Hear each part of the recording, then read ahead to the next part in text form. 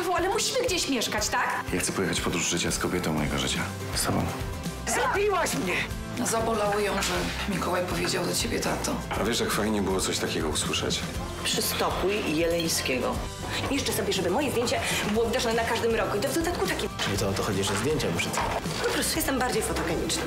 Kocham Jaśka, a on kocha mnie, a ty się wpieprzyłaś. Tak cię kocha, że uciekł sprzed ołtarza?